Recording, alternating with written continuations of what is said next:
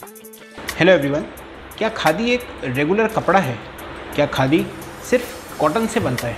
क्या खादी एक handloom fabric है?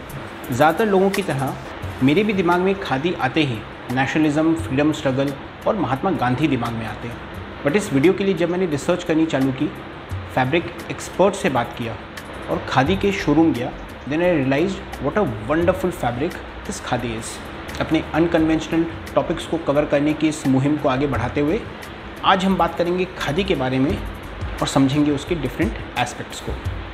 Hello and welcome to my channel style for lifestyle मेरा नाम है कनिष्क और मैं लाता हूँ लाइफस्टाइल से related different videos like personal styling current fashion hotel restaurant की विज़िट और लाइफस्टाइल के बारे में interesting information so let's start today's video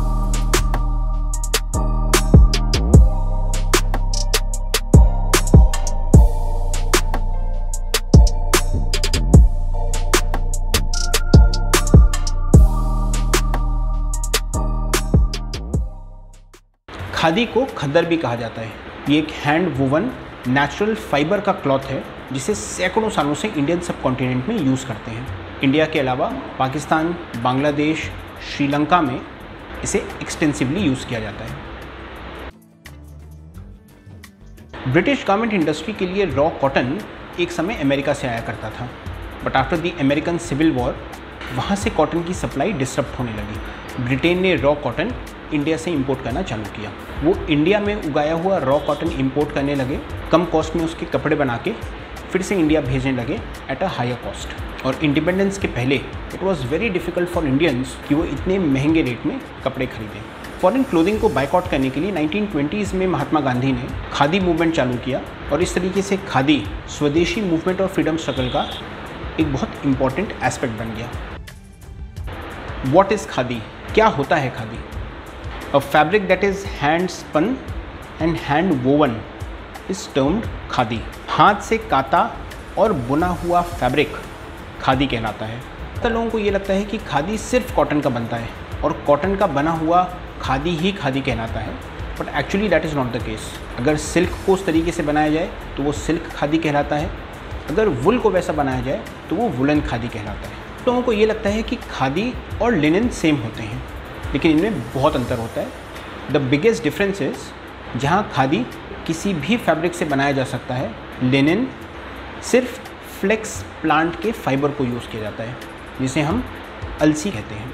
हालाँकि नॉर्मली देखने में दोनों का लुक सेम होता है, लेकिन अगर आपको इनके बीच का डिफरेंस पता करना है तो इनको एक बार लाइट में देखिए। खादी ज़्यादा ट्रांसपेरेंट होता है तो पूरे फैब्रिक में खादी की डेंसिटी चेंज होती है।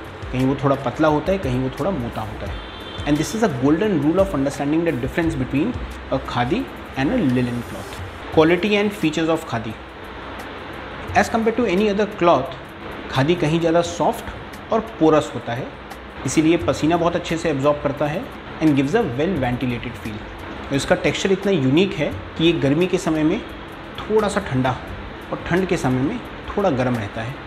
दैट इज़ द रीज़न कि इंडियन सब कॉन्टिनेंट में जहाँ गर्मी, बरसात, ठंड और उमस होते हैं, वहाँ पे this becomes a very easy fabric to wear इसकी एक बहुत अच्छी बात है दैट अनलाइक अदर फैब्रिक्स या सिंथेटिक कपड़ों के it is very skin friendly इसलिए इसे पहनने के बाद स्किन में इरिटेशन नहीं होता. एंड दीज आर रीजन्स इसे इतना पसंद किया जाता है. इको फ्रेंडली मैन्युफैक्चरिंग प्रोसेस चूँकि ये कम्प्लीटली हैंडमेड है इसलिए इसमें इलेक्ट्रिसिटी यूज़ नहीं होती। और चूँकि ये फुल्ली नेचुरल फैब्रिक है, इसीलिए इसे प्रोसेस करने में ना ज़्यादा कलर का यूज़ होता है। जहाँ पे एक रेगुलर फैब्रिक के एक मीटर को बनाने के लिए 56 लीटर्स पानी का यूज़ होता है, वहीं खादी के एक मीटर को बनाने के लिए सिर्फ़ तीन लीटर पानी यूज़ होता है। So environmentally it is very friendly and it is non toxic जहाँ तक कि हमारी तिरंगे की बात है the laws that govern the usage of flag से कि तिरंगा सिर्फ़ खादी के कपड़े से ही बनना चाहिए। ऐसा ना करने पे it becomes a punishable offence